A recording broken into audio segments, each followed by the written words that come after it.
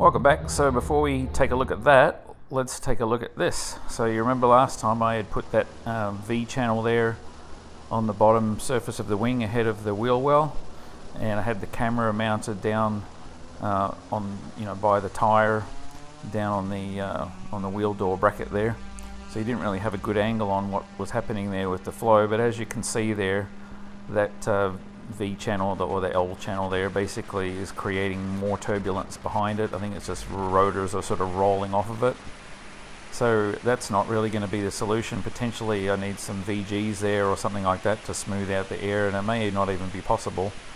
Uh, but in order to remove this as a variable from the next proper test, and which will be ground effect testing, I'm just going to cover the wheel wells for now. I've got some 2 foot by 2 foot aluminum sheets that I'm just going to tape into place with some heavy duty tape. And uh, just to have a look at this, there's not really much to see here. I just put a couple of um, bits of you know nylon there um, on the surface there of the foreplane and you see there's a couple on the leading edge there of the wing but there's really nothing to be learned at this point I don't think um, here because there's no real um, lift being generated or anything.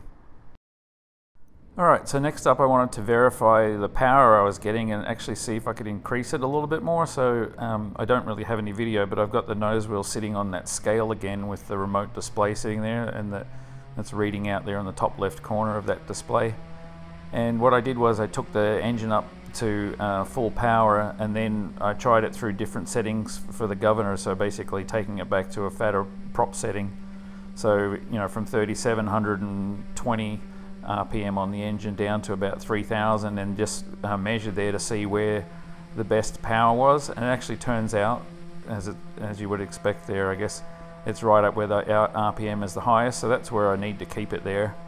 Um, and then the next thing I wanted to do was do some work on tuning it there to see um, if it, changing the uh, timing, advancing the timing on the injection would help a little bit. And actually it did um, make a difference. I don't have full video showing everything there, but I've managed to eke some more performance out of the uh, engine as you'll see uh, coming up. And as I'm tuning it, I'm trying to keep the temperatures down um, but you know, adding a little bit more fuel and uh, advancing the timing and that to sort of compensate for that, I end up with the temperatures being slightly higher. So I still need to look at this some more.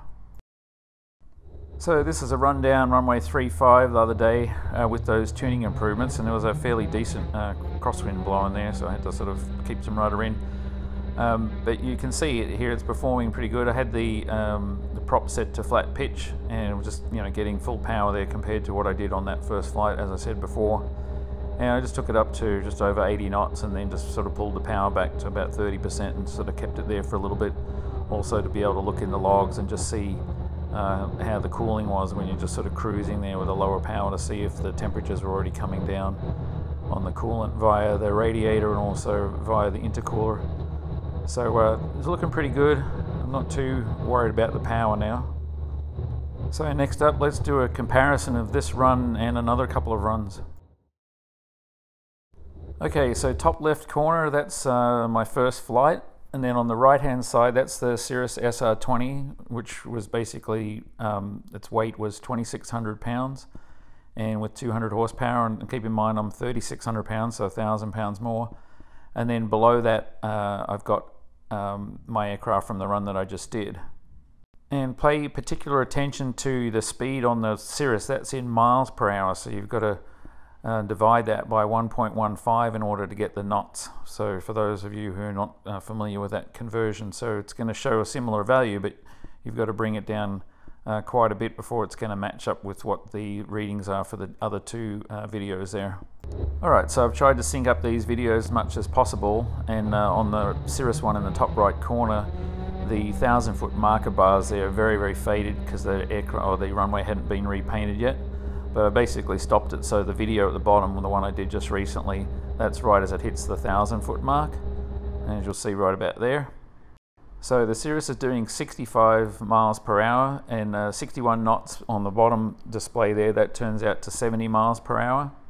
And the first flight run showing there 59 knots, which is almost 68 miles per hour. So even quicker than the Cirrus, even on that first flight that I did.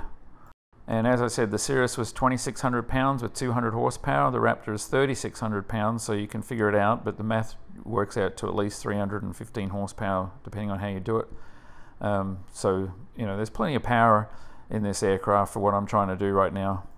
And if we continue on to where the Cirrus uh, actually rotates and gets airborne, you'll see the Raptor top left is about 84 miles per hour and bottom center it's about 88 and a half miles per hour so definitely beating the Cirrus on performance there so as I said I'm not worried that there's um, not enough power in this aircraft obviously it has to uh, rotate later because it doesn't have as much lift because there's no flaps so I've addressed power, I'm addressing cooling, um, addressing the problem of the turbulence under the wing by covering those wheel wells up next.